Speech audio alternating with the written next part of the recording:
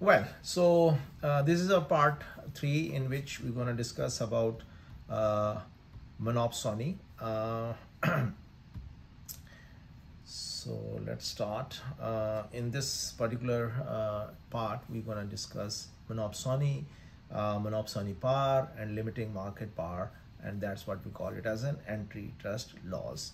Uh, monopsony power, buyer's ability to affect the price of a good, or there is also one uh, related uh, thing is oligo, oligopsony. Oligopsony means that if there are few buyers.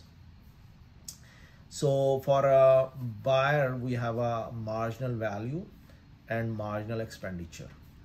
Now marginal value is just like a demand curve, like additional benefit derived from purchasing one more unit of a good and marginal expenditure is an additional cost of buying one more unit of a good so that's a, how much expenditure they have to or, or in, in other words we can say that it's a uh, uh, upward sloping a marginal expenditure curve. So average expenditure price paid per unit of a good. Uh, now if we uh, um, just look at uh, these uh, monopsony from a competitive market point so then how they look like so competitive buyer compared to competitive seller. So in uh, figure A, like this way, we see that this is marginal expenditure and average expenditure, just like um, average revenue and minor revenue. For a competitive firm, they are all, uh, both these things are equal. And here we have a demand curve, there we have a supply curve. Because there's a seller, this is a buyer. So this is a buyer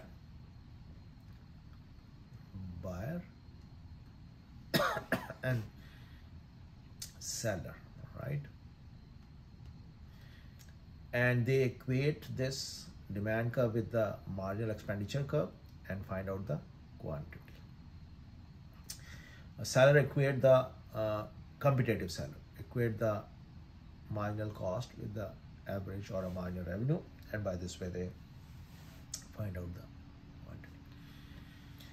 so therefore, the marginal expenditure and average revenue are constant and equal. So quantity purchase is found by equating price to the marginal value or demand curve. Uh, competitive seller also takes price as given and marginal revenue and marginal revenue uh, average revenue are constant and equal and quantity sold is found by equating price to the marginal cost.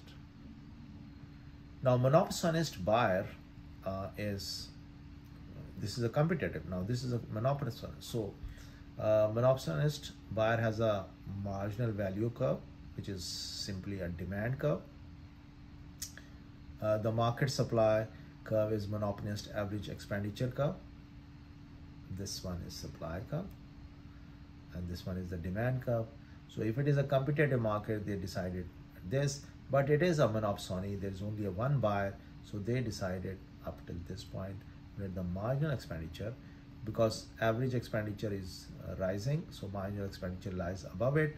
So the the monopolist purchase quantity based on marginal expenditure and marginal value so they find out this much quantity. This is a monopsonist quantity. And the price they're going to pay is this. This is a monopsonist price.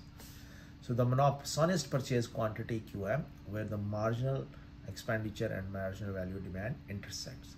So the price paid per unit PM is the found from the average expenditure supply curve. In a competitive market, price and quantity QC, PC and QC is this. So the monopsonist is buying less than the competitive market. So they are found at a point where average expenditure supply and the marginal value demand curve intersect. Now monopsony and monopsony uh, monopoly compared when we compared. So this one is a mm, monopoly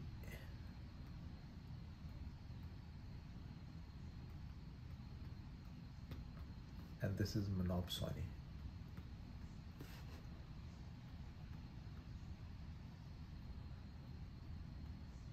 Monopsony, right? Monopoly and monopsony.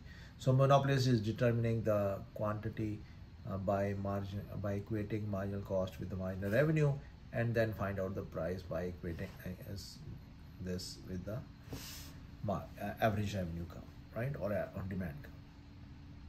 On the other hand, monopsonist is equating the marginal expenditure with the marginal value and find out the quantity and figure out the price by equating with the average expenditure. Monopsony power, uh, how they get the power and power is dependent all on the elasticity. So here is an example like in the first uh, panel we see there is a graph and that graph is the mm, average expenditure or marginal expenditure. The average expenditure is very flat means elastic. Uh, here the uh, average expenditure curve is uh, uh, steeper. It means it's inelastic. So when they char when they decide uh, in these two markets uh, the price they, they are willing to pay or they, the price they are going to pay uh, is little higher than the equal uh, than the competitive market price. But in this case it's very high and the reason behind is only elasticity so how what are the sources of a monopsony power? We can see elasticity of a market supply. Uh, if only one buyer is in the market, a pure monopsonist, uh, its monopsony power is completely determined by the elasticity of a market supply. If the supply is highly elastic, monopsony power is small and there's a little gain in being the only buyer. Number of buyers, when the number of buyers is very large, no single buyer can have much influence over price. Uh, thus, each buyer faces an extremely elastic supply curve so that the market is almost completely competitive. Interaction among the buyers. Uh, if four buyers in a market compete aggressively, they will bid up to the price close to the marginal value of the product and will have a little monopsony power on the other hand, if they these those buyers compete less aggressively or collude, price will not be bid up very much, and the buyer's uh, degree of monopsony power might be nearly as high, as high as if they were only one buyer. Uh, what is the mm, cost of the monopsony for the society or a social cost of a monopsony? We see that there is a deadweight loss, very similar like the case of a monopoly this these two B and C are the uh, combined deadweight loss for the society being a, uh, um, uh, for the existence of this monopsony market. The shaded rectangle and the triangle shows a change in the buyers and sellers surpluses. So in this case, buyer surplus is increased by A uh, minus C uh, and uh, producer surplus falls by A eh, plus C so uh, A minus B uh, is a, a, decrease in consumer or a buyer surplus and uh, the producer's fall is A plus C. So by this way, A is going to be eliminated uh, because there is a change shifting from uh, buyer to seller. But at the same time, A, B and C is the deadweight loss. Uh, bilateral monopolies can also be possible that one is selling. But in that case what is going to happen is that they are uh, counteracting each other. Like the powers are contracting. They negotiate with each other. Uh, so in that case uh, because of the powers uh, both have a power so they negotiate. And by this way uh, not exactly very close to but they are very close to the competitive market. So that's a tendency when there's a bilateral the real life example is uh,